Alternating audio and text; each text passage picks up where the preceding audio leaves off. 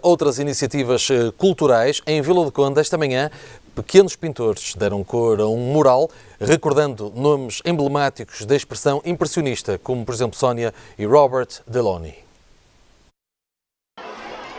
Rua que tem precisamente o nome do casal, Sónia e Robert Delaunay, está hoje transformada numa praça de pequenos pintores, numa alusão ao ambiente vivido em Paris, na altura em que este casal de artistas contemporâneos morou em França. Estes são alunos daqui do Centro Escolar Bento Freitas e estão a pintar algumas das obras, eh, precisamente eh, algumas eh, obras idênticas às deste casal de autores. Vamos aqui falar um bocadinho com a Joana e com a Catarina, que estão empenhadíssimas a pintar uma dessas obras. Olá, meninas, querem-me falar um bocadinho? Joana, tu em primeiro lugar, o que é que tu sabes deste casal, da Sónia e do Robert Delaunay?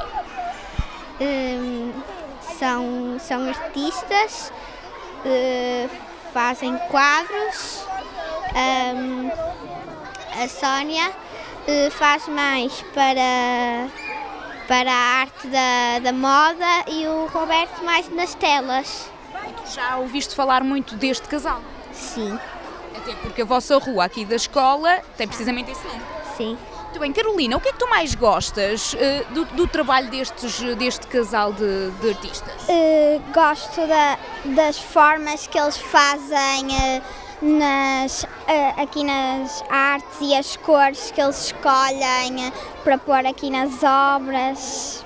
E gostei muito daquela obra que, que é um touro uh, e as pessoas que estão em forma de.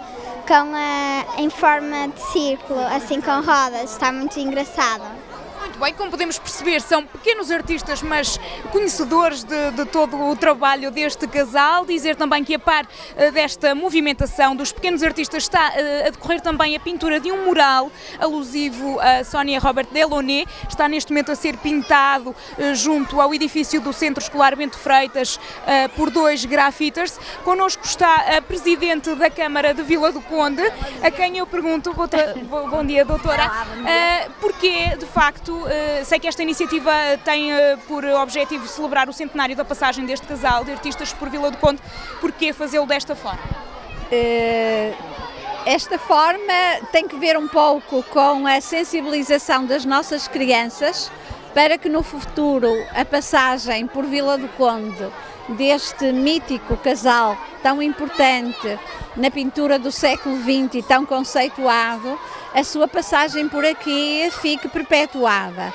E, portanto, trouxemos para a escola, para este nosso centro escolar, porque o casal mor- morou aqui, precisamente não na rua onde estamos, a quem demos o nome de Sónia Roberto Delaunay, mas numa rua paralela para o qual o centro também, o centro escolar, também faz frente. Também porque querem, eh, querem que seja eh, desde cedo que as crianças eh, tenham conhecimento. Como eu dizia, na escola, para que eh, se interroguem as crianças do porquê ele é tão evidente, a cor é tanta, não passa despercebido. E, portanto, irão perguntar porquê e a explicação ser-lhes dada, e então iremos, temos a certeza, perpetuar no futuro, como nós desejamos, nesta altura em que se celebram os 100 anos da passagem do casal por Vila do Conde, este, esta, essa passagem e o que de extraordinário eles absorveram na nossa, no nosso Conselho, porque muitos das obras mais valiosas e mais importantes do casal